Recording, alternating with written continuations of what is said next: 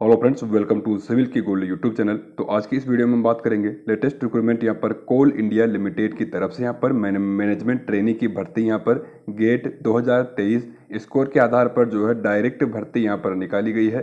Direct सीधी भर्ती यहाँ पर होगी मैनेजमेंट ट्रेनिंग की गेट 2023 स्कोर के आधार पर। तो यहाँ पर सिविल इंजीनियर के लिए बहुत ही बढ़िया अपॉर्चुनिटी यहाँ पर है। तो इसमें जो भी यहाँ पर प्रोसेस रहेगी जो भी यहाँ पर सिलेक्शन का क्राइटेरिया है उन सभी के बारे में आगे हम वीडियो में यहाँ पर बात करेंगे तो फटाफट से यहाँ पर हम देख लेते हैं तो सबसे पहले यहाँ पर हम देखें पोस्ट के बारे में तो मैनेजमेंट ट्रेनिंग ई टू की यहाँ पर पोस्ट रहेगी जिसके लिए टोटल यहाँ पर 560 वैकेंसी आपको यहाँ पर देखने को मिलेगी जिसमें सिविल इंजीनियर के लिए यहाँ पर एक सौ बहत्तर जो है टोटल पोस्टें यहाँ पर है बाकी और पोस्टें भी आप यहाँ पर देख सकते हैं तो डेट की यहाँ पर बात करें, तेरह सितंबर से एप्लीकेशन यहाँ पर चालू हो गई है फॉर्म भरना, जो कि बारह अक्टूबर तक चलेगी। तो आपके पास यहाँ पर कुल मिला के एक महीने का टाइम अभी है। तो इसके लिए आप ऑनलाइन जाकर इनकी वेबसाइट पर अप्लाई कर पाएँगे।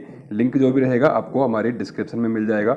वहाँ से आप सीधा विज़िट कर सकते हैं इनकी ऑफिशियल वेबसाइट पर और जाकर सीधा अप्लाई यहाँ पर कर सकते हैं।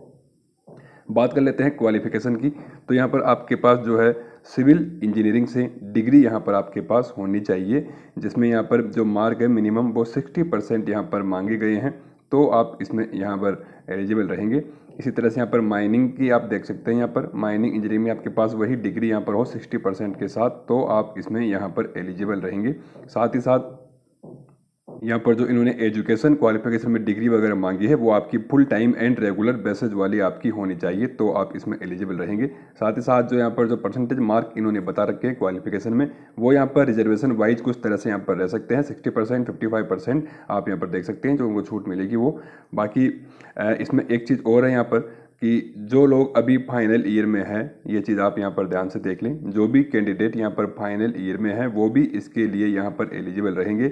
बस ये गाइडलाइंस जो उन्होंने दे रखी है, ये वो पूरी करते हो। जिसमें आप देख सकते हैं यहाँ पर कि उनकी जो रिक्वायर्ड यहाँ पर जिन्होंने मांग रखी है क्वालिफिकेशन उसके हिसाब से यहाँ पर जो सेमेस्टर उनके कंप्लीट हो चुके हैं, उन्हीं के आधार पर जो है सिलेक्शन आपका हो जाएगा। लेकिन जब भी यहाँ पर जो डीवी होगा फाइनल सिलेक्शन जब यहाँ पर होएगा जॉब में तो उस टाइम जो है आपको अपनी फाइनल की मार्कशीट डॉक्यूमेंट आपको अप्लाई करने होंगे। बाकी आप फाइनल ईयर वाले भी इसमें जो है अप्लाई यहाँ पर कर सकते हैं। तो वो चीज़ आप यहाँ पर अच्छे से देख लें, जो भी यहाँ पर गाइडलाइन है।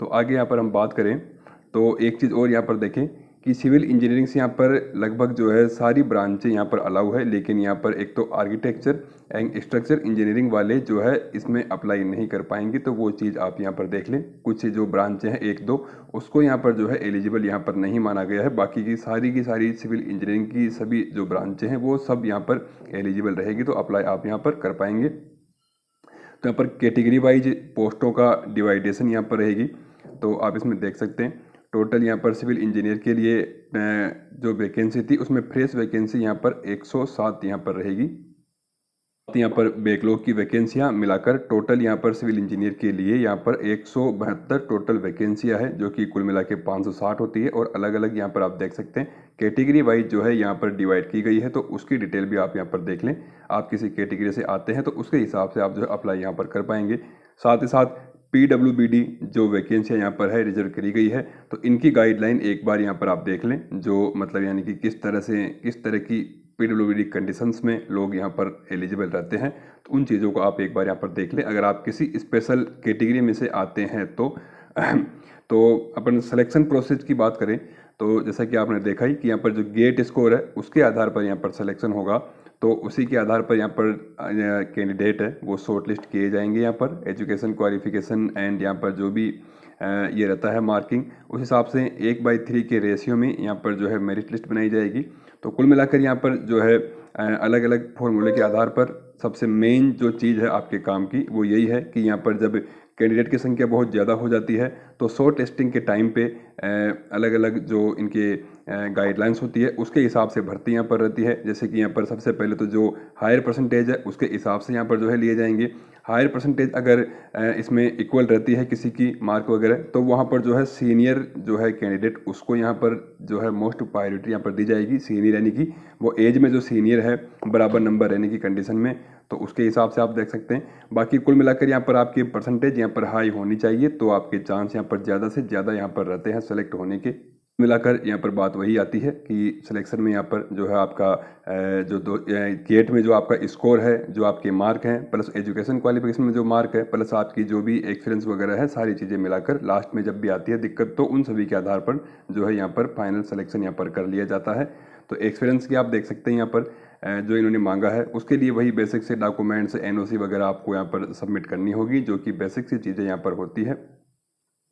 बाकी जब भी आपका सिलेक्शन होगा, उस उसमें आपको जो है इनकी ऑफिशियल वेबसाइट के द्वारा ही आपको इन्फॉर्म किया जाएगा। बाकी और भी कम्युनिकेशन यहाँ पर होता है तो ऑफिशियल मेल आईडी वगैरह के थ्रू ही यहाँ पर होगा तो उसके लिए आप ज़रूरी है कि हर बार की तरह, जैसे कि आपको पता ही होगा कि किसी भी एग्ज़ाम में आपको mail ID mobile number registration के टाइम पे आपको परफेक्ट देने होते हैं, जो आपके पर्सनल हो, जिसको कि आप रेगुलर यूज़ करते हो, ताकि कोई भी इन्फॉर्मेशन आपसे मिस ना हो तो वो चीज़ आप यहाँ पर ध्यान रखें। फ़ीस यहाँ पर आप देख सकते हैं, ग्यारह सौ अस्सी रुपये की फ़ीस यहाँ पर सभी कैटेगरी वालों को देनी है, लेकिन यहाँ पर रिज़र्व कैटेगरी वालों को कोई भी फ़ीस यहाँ पर नहीं देनी है। उनके लिए यहाँ पर पूरी तरह से फ़ीस माफ़ रहेगी तो वो चीज़ आप यहाँ पर नोट कर लें। एज की बात करें यहाँ पर तो अपर एज यहाँ पर तीस साल की यहाँ पर इन्होंने मांगी है, जो कि काउंट की जाएगी इकतीस अगस्त दो हज़ार तेईस के हिसाब से।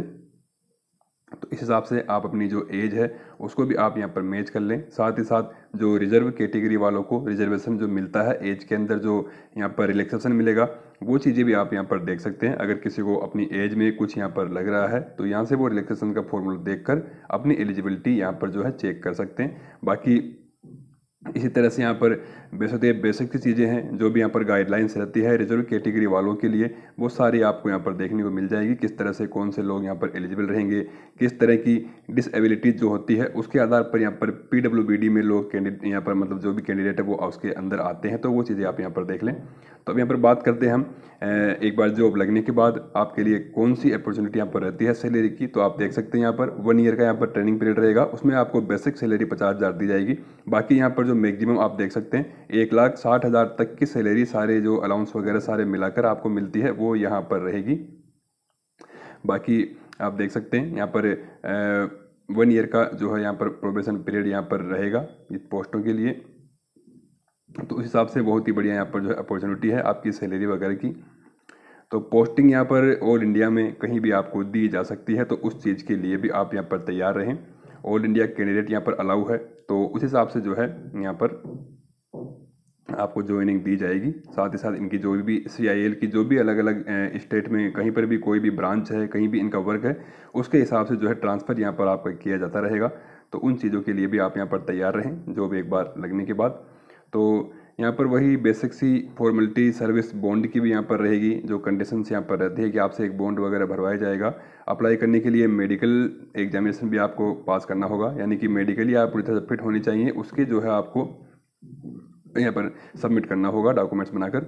अप्लाई कैसे करना है? लिंक आपको डिस्क्रिप्शन में मिल जाएगा। वहाँ से सीधी सी बात है, जो लोग फ़र्स्ट टाइम विजिटर हैं, उनको रजिस्ट्रेशन करना होगा अपनी मेल आईडी मोबाइल नंबर आदि से, और फिर जाकर वो अप्लाई यहाँ पर कर सकते हैं। प्रोसेस बिल्कुल सिंपल है। जब भी आप डिस्क्रिप्शन में दिए लिंक पर क्लिक करेंगे, वहाँ पर डायरेक्ट आपको जो है रजिस्ट्रेशन का अप्लाई नाउ के नाम से ऑप्शन मिल जाएगा। वहाँ से जाके आप अप्लाई कर सकते हैं। या फिर आप डायरेक्ट जाके ऑफिशियल वेबसाइट से भी जो है विज़िट कर सकते हैं। इनके सेक्शन को आसानी से आपको वहाँ पर मिल जाएगा मल्टी लैंग्वेज में। बाकी यहाँ पर ये जो गाइडलाइन है कौन कौन से डॉक्यूमेंट्स आपको चाहिए होंगे अप्लाई करने के लिए तो ये चीज़ें भी आप एक बार ढंग से इनको पहले देख लें अप्लाई करने से पहले और सारे डॉक्यूमेंट्स आप पहले से रेडी रखें। कौन कौन से फॉर्मेट में, किस तरह के डॉक्यूमेंट्स पीडीएफ जेपीजी जो भी यहाँ पर मांगी गई है, साथ ही साथ यहाँ पर जो पूरी गाइडलाइंस है फोटोग्राफ वगैरह की, वो आप यहाँ पर देख सकते हैं। और एक एक चीज़ को यहाँ पर स्टेप बाय स्टेप सारे डॉक्यूमेंट्स आप इकट्ठे करके और अप्लाई यहाँ पर कर सकते हैं। जो रिज़र्व कैटेगरी वाले कैंडिडेट हैं, उनको यहाँ पर किस तरह से अप्लाई करना होगा डॉक्यूमेंट्स लगाने होंगे, वो भी यहाँ पर आपको मिल जाएँगे। तो वो लोग भी जो है यहाँ पर उसको चेक कर ले एक बार अप्लाई करने से पहले। यहाँ पर वही बेसिक सी गाइडलाइन है। यहाँ पर सोशल एक्शन वगैरह होगा, सारा वो सीआईएल के अंडर में होगा। जो भी इनकी लास्ट गाइडलाइन रहती है, किस हिसाब से यहाँ पर सेलेक्ट करेंगे, वो सारा इनकी मर्ज़ी है। उसमें किसी तरह का कोई भी ऑब्जेक्शन जो है कैंडिडेट यहाँ पर नहीं कर पाएँगे। साथ ही साथ यहाँ पर ध्यान रखें किसी भी तरह का मॉडिफिकेशन आप अपनी एप्लीकेशन में यहाँ पर नहीं कर पाएँगे तो अच्छे से देख देख कर एक बार जो है भरे।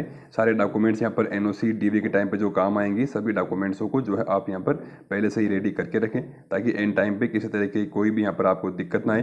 प्रॉब्लम आने पर इन्होंने भी अपनी जो है हेल्पलाइन यहाँ पर जारी कर रखी है, आप इनसे कॉन्टैक्ट यहाँ पर कर सकते हैं, या फिर डायरेक्ट जो है हमें भी कमेंट करके पूछ सकते हैं, आपको किसी तरह की कोई भी क्यूरी हो और कोई भी आपको परेशानी होती है तो तो ठीक है फ्रेंड्स इसी तरह से न्यू जॉब अपडेट एंड वैकेंसियों के लिए सब्सक्राइब करें हमारे चैनल को एंड बने रहिए हमारे साथ। धन्यवाद।